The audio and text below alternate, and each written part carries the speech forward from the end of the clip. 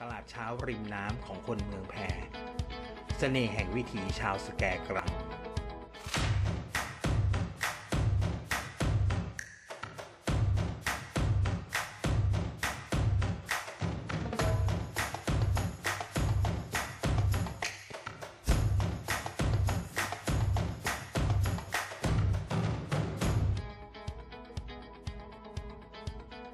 ถ้าเราอยากรู้ว่าจังหวัดนั้นๆ มีอะไรดี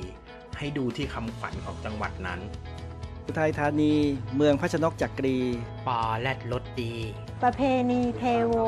ส้มโอ บ้านน้ำตก มรดกโลกห้วยขาแข้ง แหล่งต้นน้ำสแกกัง ตลาดนัดดังโคกระบือ ใช่ครับ นี่แหละจังหวัดอุทัยธานี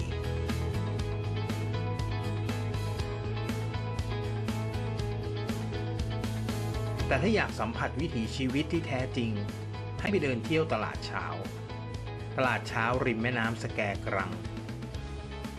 หนึ่งในตลาดที่อุดมสมบูรณ์ พรูนพราวไปด้วยปลาแม่น้ำทั้งของกินเล่นกินจริงนานาชนิด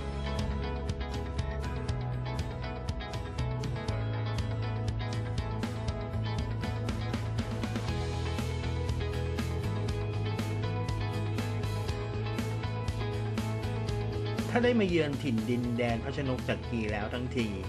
ก็ต้องไม่พลาดการเดินเที่ยวชมตลาดเช้าริมแม่น้ำสแกกรัง อุทัยธานี ดินแดนมรดกโลกเป็นเมืองที่ยังคงเต็มไปด้วยวัฒนธรรมวิถีชีวิตที่เรียบง่าย และมีจุดเด่นคือชุมชนชาวเรือนแพที่นี่เป็นชุมชนชาวเรือนแพที่สุดท้ายที่เดียวของประเทศไทย ที่ชาวเรือนแพยังคงใช้ชีวิตทำมาหากินกันจริง ๆ อยู่บนเรือนแพมากกว่า 200 หลัง มาตั้งแต่อดีตจนถึงปัจจุบัน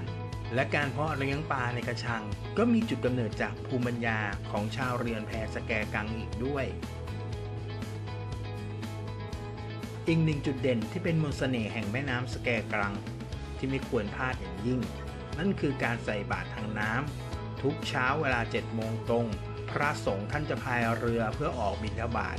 เหมือนดังเช่นภาพในอดีตที่เคยเป็น เป็นภาพที่ประทับใจมากๆ เพราะหาดูได้ยากยิ่งแล้วในทุกวันนี้ ถ้าหากสาวๆท่านใดที่มาใส่บาตรแล้วไม่ได้เตรียมสิ้นมาด้วย ที่นี่ก็มีให้ยืมใส่ถ่ายรูปอีกด้วยนะครับ เป็นผ้าสิ้นจากฝีมือชาวราวข้างอำเภอบ้านไร่จังหวัดอุทัยธานี บอกเลยว่าสวยหยดหมดทุกลาย ส่บาตรเสร็จก็ต้องเก็บภาพสวยๆ แบบนี้ไว้ก่อนนะ